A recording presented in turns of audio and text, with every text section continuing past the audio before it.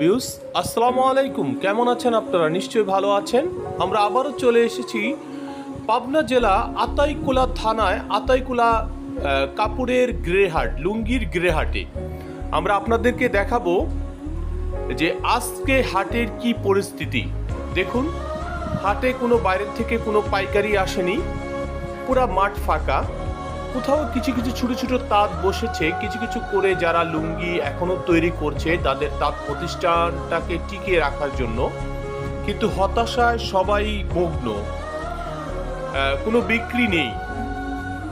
আর বিক্রি নেই কারণে লোক সংখ্যাও কম। দেখতে থাকুন কি পরিস্থিতি। আমরা এক ভাইয়ের সাথে একটু কথা বলব।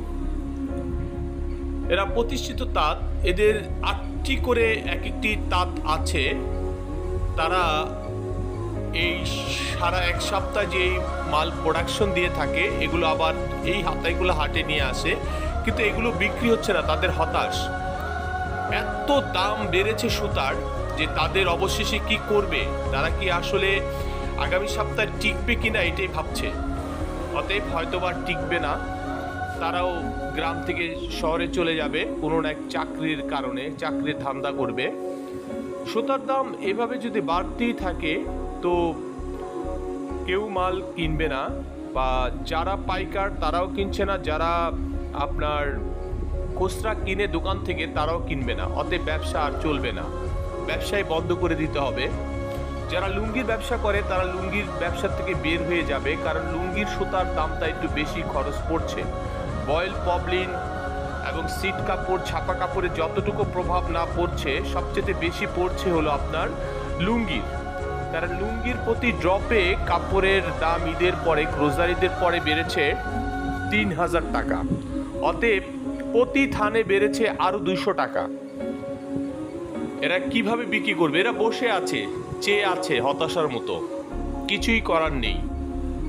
তাদের মুখের কথা যদি আপনি শুনেন আপনি নিজেই লজ্জা পাবেন। বাংলাদেশের মানুষ, বাংলাদেশের এই যে পরিস্থিতি তাঁত শিল্পরা হতাশার মধ্যে আছে, কিন্তু তাদের সঙ্গী কেউই নেই। তারা তাদের কষ্ট কাউকে বলতে পারছে না।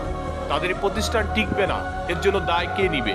এর জন্য কে এটার ক্ষতিগ্রস্ত এই জনগণে বাংলাদেশের মানুষই, অতএব এই পেশার থেকে অন্য পেশা তারা যেতেও পারছে না। যদি অন্য কোনো ব্যবস্থা থাকতো, তারা এই সপ্তাহে হাট করতেনই না। তবে আগামী সপ্তাহে এরা আর আসবে না। এভাবে এদেরকে দেখা যাচ্ছে, কিন্তু সামনে আর এদেরকে দেখা যাবে না। আর আমি আপনাদের এদের ভিডিও দেখাতে পারব না। কারণ আমি অবশেষে আপনাদেরকে এই গ্রের লুঙ্গির হাটে হয়তো মাছের হাট হবে, নাহলে গরু ছাগলের হাট হবে। কারণ এই লুঙ্গির হাটটি হারিয়ে যাবে, এই লুঙ্গির হাটটি আর টিকবে না।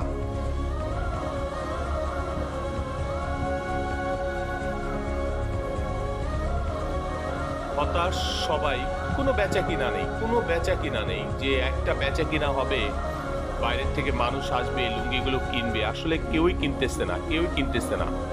যারা বড় বড় হাজার হাজার কোটি টাকার মালিক, তাদের সমস্যা কি? তারা তো ব্যাংক লোন নিয়েছে, যদি দেউলিয়া হয়ে যায়, তাতে কোনো ক্ষতি নেই।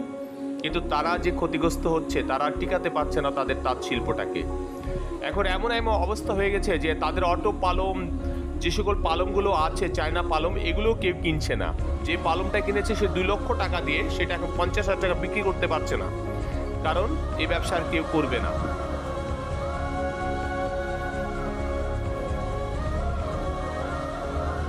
বিক্রি নেই। বিক্রি নেই। কি করবে?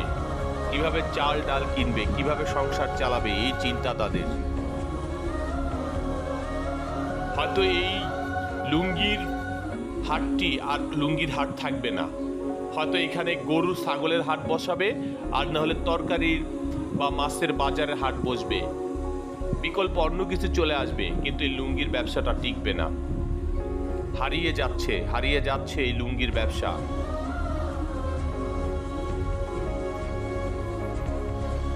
তো সবাই ভালো থাকবেন, সুস্থ থাকবেন। আমি আতাইকুলার থেকে পাবনার থেকে বিদায় নিলাম। আজ এই পর্যন্তই। আসসালামু